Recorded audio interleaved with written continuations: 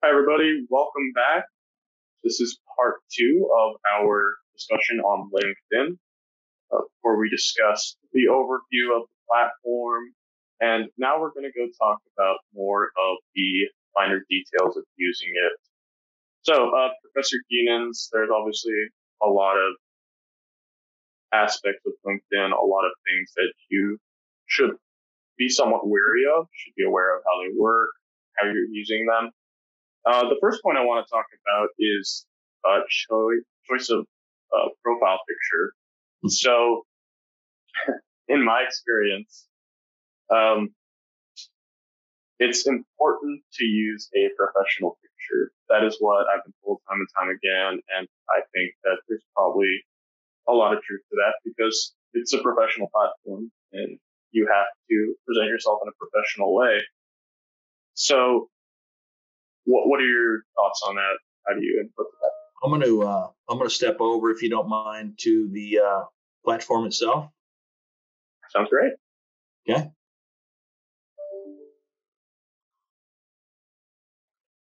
In just a minute, I'm going to do that.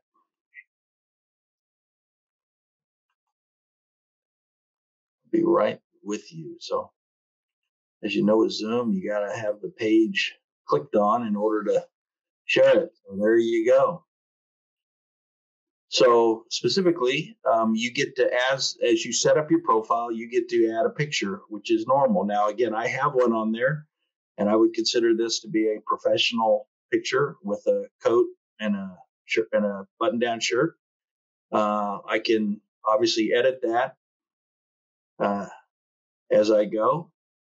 I don't know if it'll let me, if I click here on the edit button, it should let me enter all sorts of stuff. Notice that there's an edit button here on the picture. So if I wanted to uh, change my picture, I could add a photo. I could search my uh, computer.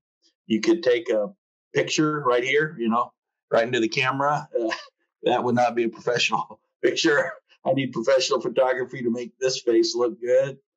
Um, so it, again, you guys are used to doing this, uploading pictures from your pictures library or your gallery, uh, as it were.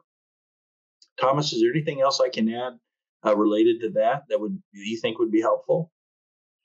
Um, uh, one thing I uh, know that's kind of a newer feature to LinkedIn right now, as as I know, there is the option to add on your profile picture, like it's like a available to hire. It's kind of a green band that goes around. I don't know if that's an option to you, but I know I've seen quite a few people with that. How do you think um, what kind of impact do you think that has for employers? Do you think that's positive, or do you think it kind of makes you get lost in the crowd? Would you recommend using that? Um, yeah, so so this may this may overlap with some other sessions that you're going to do with some other people, but I think it's a really important lesson. And I don't have a particular issue with that kind of thing available for hire, but just to be really clear, no one, no one no one will hire directly off of LinkedIn. No one, no one, no one will directly hire off of a resume. All these things are are first steps. You want to get to the next step. So if if you're if it says available to hire, uh, you might want to frame it in a way that gets you just to the next step because n- nobody's going to hire blind. Oh, look, a great handsome guy. I'm going to make a job offer just off of what I see on LinkedIn. Doesn't happen. Same with a resume. It's just all about getting to the next interview pro next interview step in the process. Yeah, I, I agree with that. You know, that's why it's here. It's a platform for getting you to that interview, getting you to those connections. And I mean, I suppose in some rare one in a million cases, someone did land a job, but it's the step that you need to get to that point where you need to use a picture interview. And the first part of that yeah. is having Tom, professional. I'm not suggesting, Thomas, that you won't ultimately get a job offer. I mean, because this is a great place to start. Just don't expect it off of LinkedIn. Oh, yeah.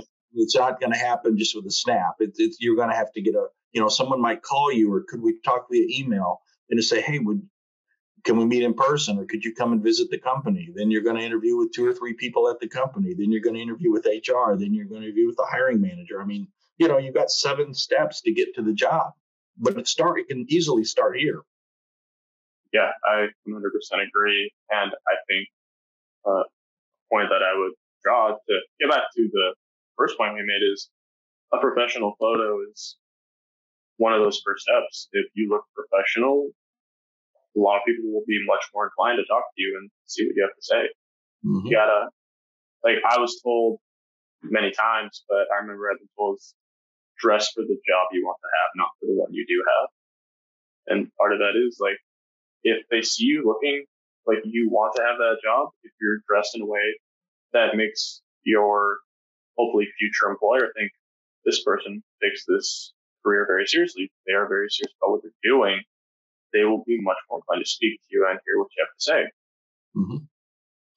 And it's also it's also fair in today's world. This was not always the case, but it's fair in today's world that if someone invites you on the premises for an interview, say, "Could you please tell me what your um, apparel expectations are? Could you or what the work apparel is like at, at your workplace?" Because some people would, you know, if you show up in a coat and tie and everybody's in jeans and and a, and a button down untucked shirt, that may feel uncomfortable, but I would err on that side for sure if I didn't know. I'd rather be overdressed than underdressed, eh, where you show up and you're the only person that doesn't have a tie on. That that would not be a good situation. But to ask the question is very fair. What's the appropriate attire at your company?